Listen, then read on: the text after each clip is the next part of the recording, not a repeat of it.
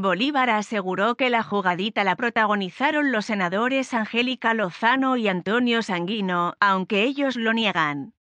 Lo cierto es que el nombre de Bolívar, uno de los promotores de elementos para los jóvenes de la primera línea y un defensor agudo del petrismo, no gustó entre sus propios compañeros que terminaron derrotándolo en las urnas ante la derrota de Bolívar. El Partido Verde, quien ya había ocupado la vicepresidencia, postuló a Iván Neim, también de su partido y él resultó victorioso, un hecho que algunos integrantes de la oposición han contemplado en demandarlo ante el Consejo de Estado porque según el artículo 18 del Estatuto de Oposición, la organización política que hubiese ocupado ese lugar en las mesas directivas no podrá volver a ocuparlo hasta tanto no lo hagan las demás declaradas en oposición, salvo que por unanimidad así lo decidan. De otro lado, la congresista Catherine Miranda aseguró que no todo vale, y el verde actuó mal, el verde actuó mal, no hay excusas para justificar esta bajeza. Al verde no le correspondía asumir la segunda vicepresidencia, ya la había ocupado con Anielica y la ley es clara. Iván Marulanda, precandidato presidencial del Partido Verde, explicó en su red social Twitter que se apartó de la decisión de elegir a Iván Ney.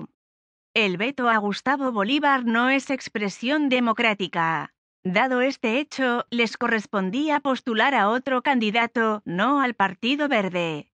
Es la norma y el correcto proceder. Me retiré para no participar en algo con lo que no estaba de acuerdo, argumentó P. ¿Por qué se apartó de la decisión de elegir a Name? R. El veto a Bolívar no es expresión democrática. Dado este hecho, les correspondía postular otro candidato, no al PV. Es la norma y el correcto proceder. Me retiré para no participar en algo con lo que no estaba de acuerdo.